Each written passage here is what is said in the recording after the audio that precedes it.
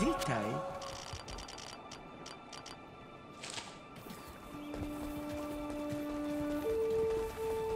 Miłego dnia.